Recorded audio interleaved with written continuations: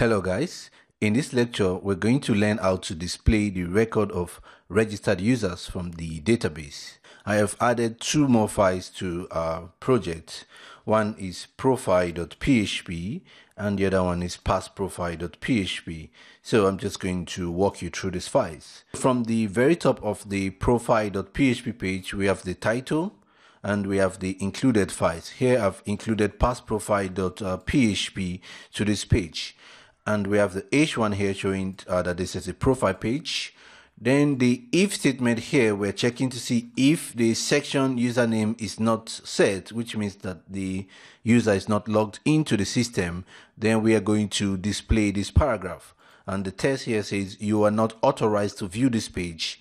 Then we provide a link to login and also a link to sign up Otherwise, if the user is already logged into the system, we are going to create a table and uh, within this table, we're going to be displaying the username. We're going to display the email and the date the user joined the uh, system. And also here we provide a link to another page, which is the editprofile.php page and we are passing a parameter to this page which is the ID of the user encoded and we're sending this as a URL parameter uh, with the name user identity. Uh, we're going to talk more about this when we talk about updating our profile. So for now we're going to I'm going to show you how we manage to pull out the information that we are displaying here for each of the table row here, we have uh, two table data. One is the heading, table heading, which is going to show the information about what we are displaying in the uh, other part, which is the TD. So here we have the username and here we are going to display the value of the username, which we are going to retrieve from our parseProfile.php page. So let's go over to the parseProfile.php page so I can show you how we are pulling out this information from the database. In our parseProfile.php page, we've included our database.php and utilities.php.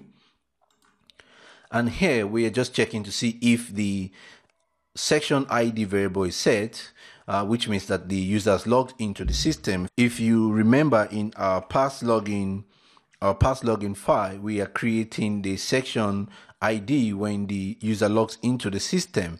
So with this, we are going to be able to retrieve this information once the user has logged into the system.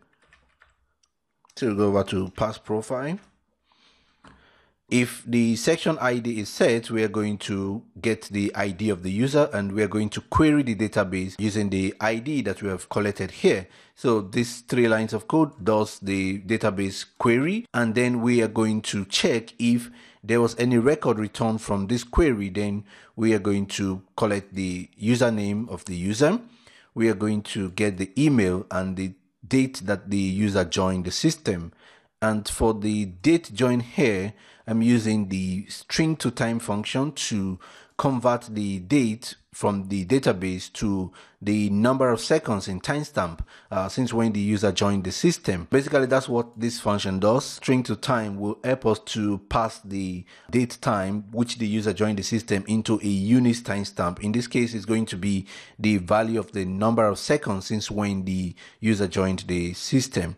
So again, then I'm using the string f time which simply formats the value that we're getting here in a user readable format. The first argument here for string f time will be how we want to format the date and the second argument will be the number of seconds that we're retrieving from this uh, function which converts the when the user joined the system to seconds. Here I'm saying I want the mort abbreviated which is uh, percentage B, we abbreviate the month based on the locale of the user. So this is if we have January, we're going to have JAN. Uh, if it is June, you're going to have something like um, JUN, and uh, May, we're going to have the complete month, and so forth. All right, so percentage D is going to give us two digits of the month with leading zeros. Example will be, uh, for example, we have 01 uh, 0 1 we have 31 we have 29 and uh, etc percentage y is going to give us four digits of the year. For example, will be 2040. All right, so this is going to convert the date to a human readable format for us.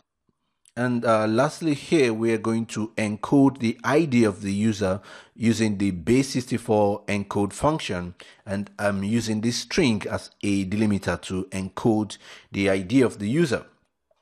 Now we can actually go over to the browser and uh, try to see how the information will be displayed.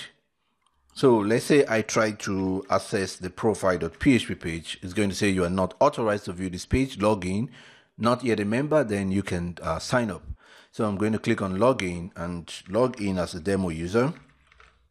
Okay, once we log in as the demo user, we can then click on the profile.php and you see that the information of the user is being displayed here. And we have the link here to edit the user profile. If you can look at the very bottom of this screen, you'll see that the uh, complete URL is being displayed there at the bottom, which is editprofile.php user identity. The value of user identity is equal to uh, a string. This is the encoded value of the user ID. Okay, so let me go over to the headers.php and show you the only thing that changed there. So in headers.php, the only thing that I changed here was just to add the uh, URL. In the next lecture, we're going to see how to update the profile information of the user.